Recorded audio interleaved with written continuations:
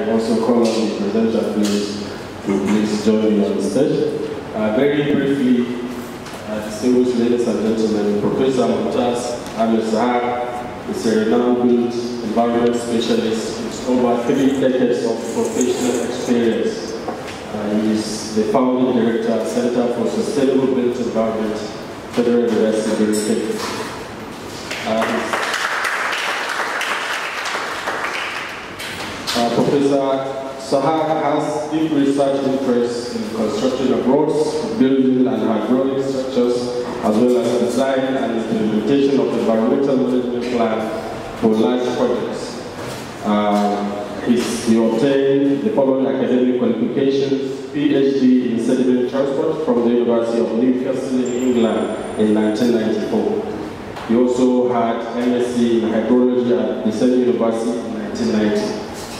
Uh, distinguished ladies and gentlemen, Professor Mumtaz's scholarly contributions have contributed positively on different communities across the globe.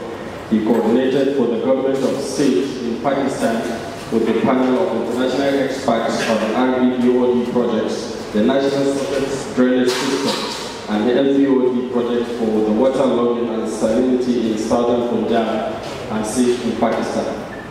He also co-populated the National Water Policy Drainage Master Plan of Pakistan, as well as National Wetland Policy and National Surface Drainage System. Professor Sohag also worked for sustainable supply of water in the rural areas of northern Uganda. Uh, in addition, Professor Mumtaz Sohag has also served as consultant on major projects of the World Bank Asian Development Bank and African Development Bank. Distinguished ladies and gentlemen, Sohag was born on 12 February in 1962. He is married and blessed with children. It is now my honor and privilege to Thank you very much. Good morning and Assalamu alaikum my respectable chairman, our worthy Vice Chancellor, our distinguished management, committee members, and all the participants. Today, we are going to discuss one important aspect of Nigeria and that is about the water, which water resources Nigeria is blessed with nature.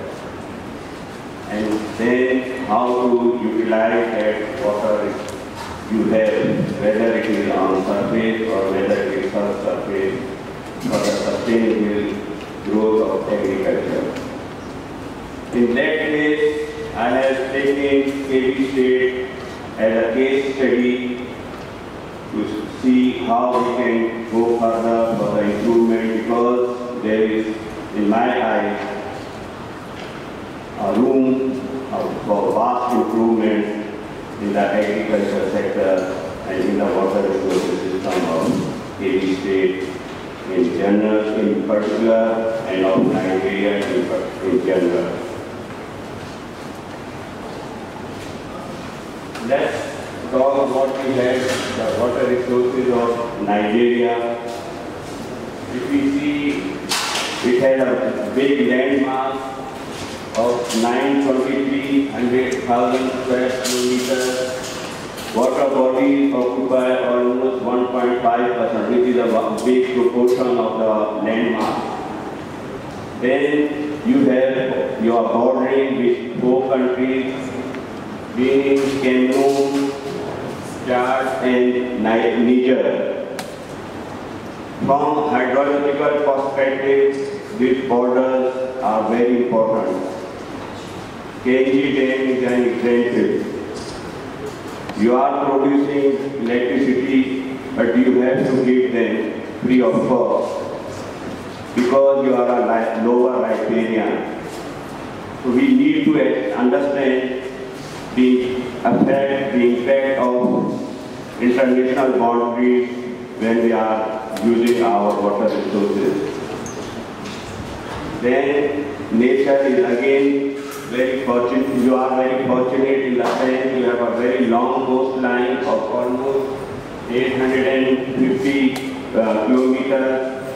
Then you again see you have a lot of rainfall. You have two seasons, dry season and uh, wet season, or you can say rainy season, and you get enough rainfall. I would say more than what, you, what is the usual requirement as elsewhere. Then again, temperature is so uh, favorable, so favorable for our agriculture growth. In England is an example. They get a lot of water, but they cannot go with agriculture. Problem, the weather is not uh, favorable. Then again, as I said before, you have lot of rainfall and again you have different seasons. You have a season when you have, right now we are in that particular season where rainfall is persistent. Then after that we will have a dry season. So we need to see what we have to do for dry season and how we have to manage when we have get a lot of water during rainfall season. If you see the river network of Nigeria, you see lots of rivers you have around. Uh, don't forget the monogram of Nigeria. The Nigerian monogram also depicts the two major rivers. Have river uh, Niger, which passes through this state, and river Benue, which conflues at Kogi and then they outfall into Atlantic Ocean. So this shows how important is river is the river system, is the water resources system for Nigeria. Next. As we know, water without water existing existence of humanity of human being is not possible. This shows the importance of water for our existence and for our life, not only human life, in fact all the creatures. Water holds one of the most important sectors in Nigeria. And this is the reason government of Nigeria is placing a lot of importance to it, how to develop and how to make maximum use of the available water resources Nigeria is blessed with by nature. Now you have water, but then there are always challenges. Challenges always make life beautiful you have to face the challenges. Don't shy away. Now when we have got so many uh, water, so much water resources we have it, then there are some big challenges we are facing with. We have a high population growth. That means the consumption rate is all the time decreasing because the water we had about 20 years ago could have been used by more people than today. That's all due to increase in population all the time. Industrialization, every industry needs water. So in, no industry can survive without water. So we have to be careful about the needs of the industry when we are looking forward to make more industries in the country. Then, unfortunately, uncontrolled environmental degradation. We people don't understand that the water which we have we have to be very, very careful about it. Because most of the diseases are waterborne. And if we start polluting it, then the water bodies are going to get contaminated. And this, unfortunately, in Nigeria, we don't have a single wastewater treatment plant. I give you the example of America in Tacoma. Just I'm giving you one example. In Tacoma, they have wastewater treatment plant which is working for almost 130 years. And the wastewater treatment plant is so efficient, the one which is being treated you can use for a drinking purpose. And here we don't understand the importance of environment and uh, the effect it is causing when we are disposing of our wastewater or our solid waste into water bodies. We need to understand that wastewater is always disposed of in a water body. It has no other disposal point than another water body. Then sustained climate change. All the time we are witnessing how climate change is taking place. This year around, we found what we found that it was very, very hot in the uh, May and June. Why it was so? It wasn't so in the last two years because I, this is my third year and this is what I witnessed. And then again, rainy season has started bit early here and it is at a high growth, uh, the way it is going now. So what does it show? That impact of climate change and water sector is the most affected area when of climate change. What it is doing to our water resources, it all shows that we are not making judicious use of our water resources. So we have to open our eyes and be mindful of the whatever nature has blessed us. Another problem is, which is a very serious problem, safe water coverage in Nigeria. As I said, we don't have wastewater treatment plants and unfortunately, even for the fresh water, the ones we have, they are not working so effectively which they are supposed to be. Let's discuss what we have about Kebbi State.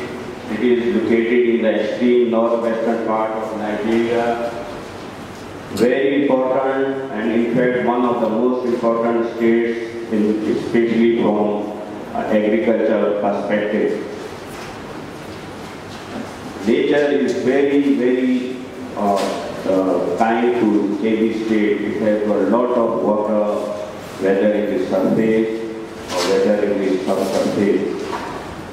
Uh, some prominent rivers, Rima, Sokoto, Damkara, Gunzai, they all flow through this state. In fact, river Niger, most of them are confluence with river Niger also uh, passes through this state. As such, it has a vast, I would say very vast potential for irrigation. Irrigation, in fact, is the artificial application of water for agriculture purpose. As such, we don't have irrigation system here. And it has a large, very vast potential. This is an area where we have to see where we are going to focus today and some other related issues. Now, we have got a lot of surface water, but we are banking on groundwater. What happened this year, that water table had gone down. That was because of lower recharge and extreme heat. So, water table has gone down and just imagine if our water table goes down further, what will happen to our agriculture activity. Again, we see uh, this uh, uh, state is the one through which uh, one of the major rivers of Nigeria is flowing through. It is river Niger, uh, which is through uh, Kebbi state.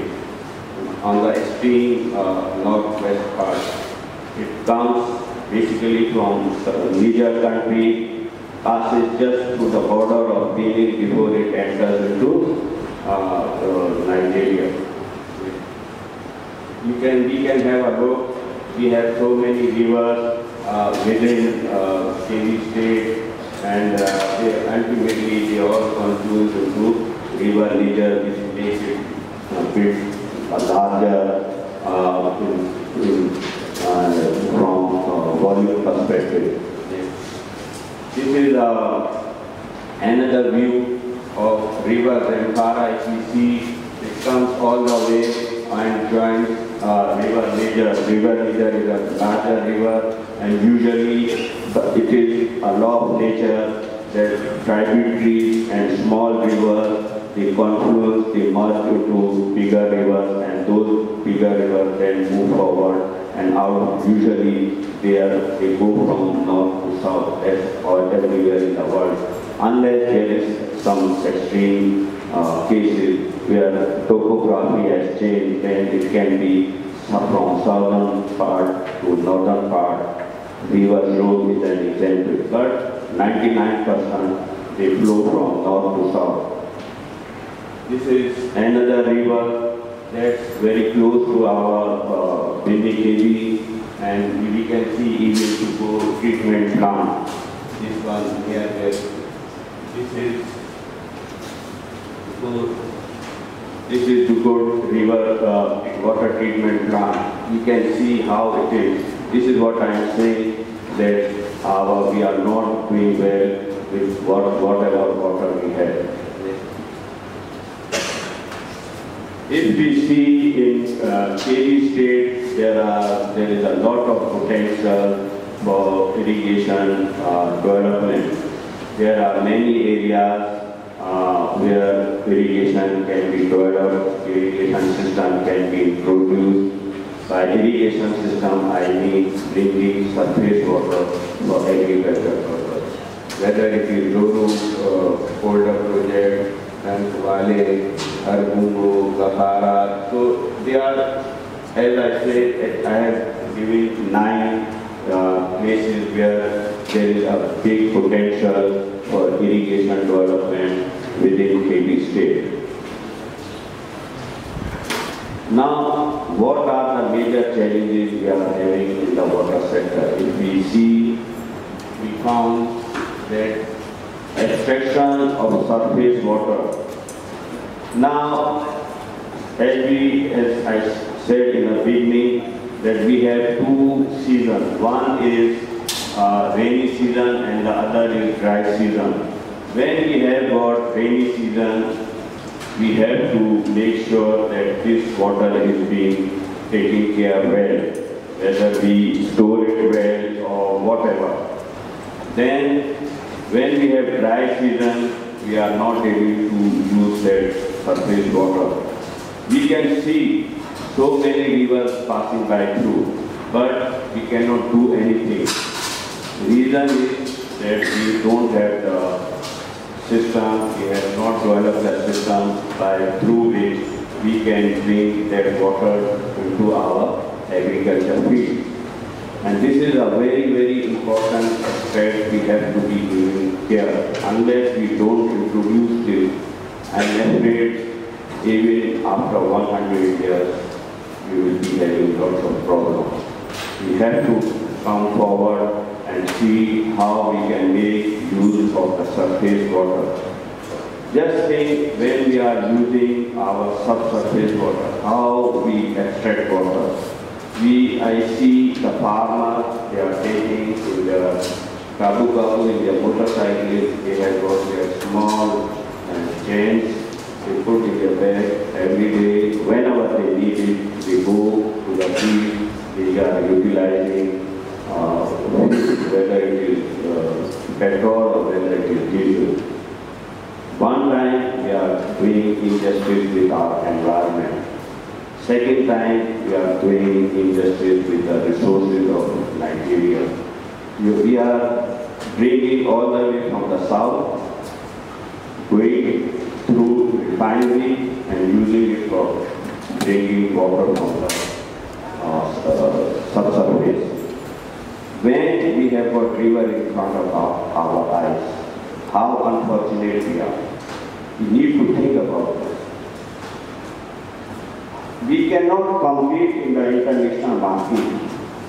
We cannot because a farmer who's putting his ten dollars to bring his one ton of wheat, here the farmer is putting his fifty dollars to bring one ton of wheat for example.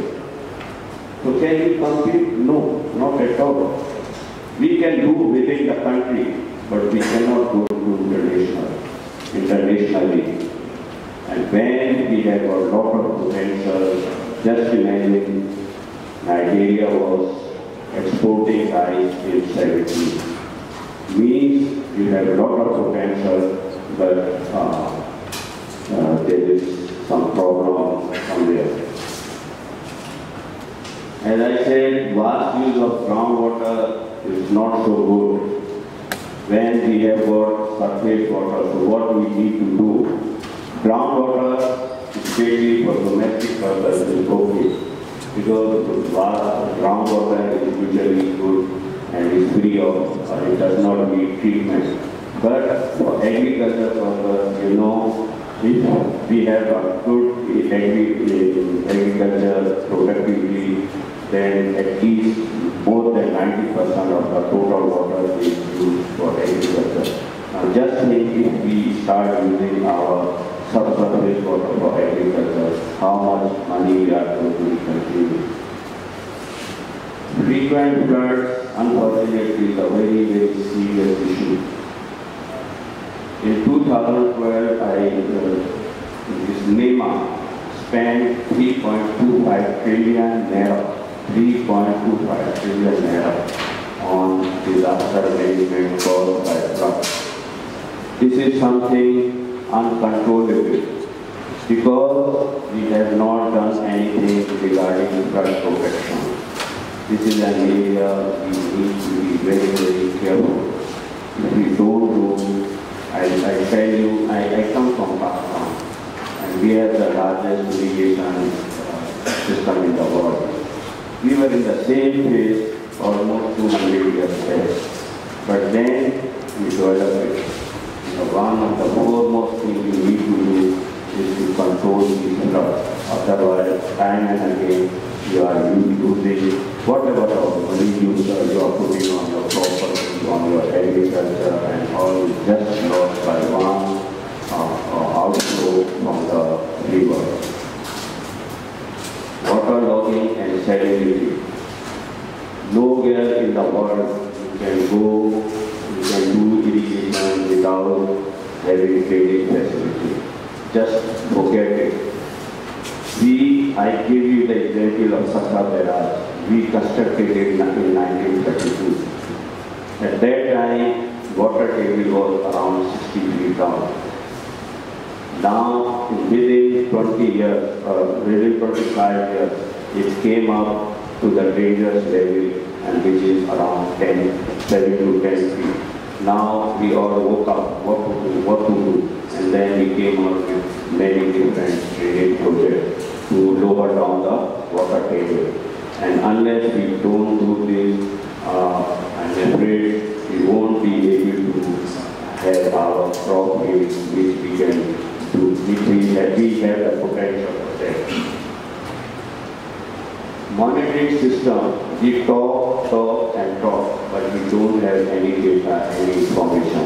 How we can live in this world without having any efficient, any effective monitoring system, which is collecting with all the time uh, data, information, how much is the water in the river, how much safe is there, what is the quality of the uh, water, how much from this tributary is coming, how much it is outgoing.